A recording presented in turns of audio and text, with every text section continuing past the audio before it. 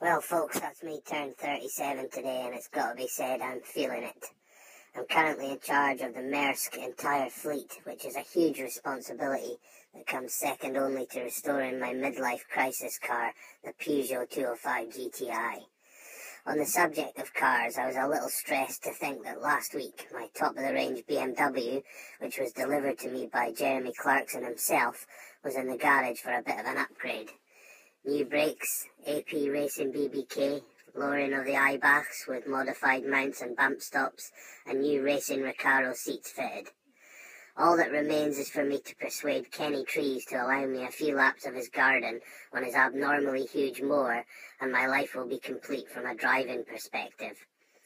I'm planning taking the missus for a romantic day out this year, a day eating Arbroath Smokies and watching clay pigeon shooting at the Moy Game Fair. Who says romance is dead? As a special treat, I may take her to see the falconry display and the terrier racing to round off the day.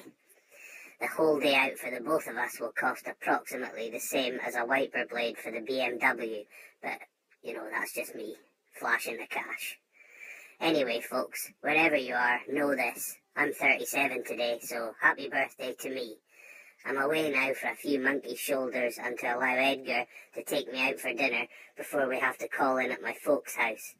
Kenny can't check his emails because Margot lost Google. God help me.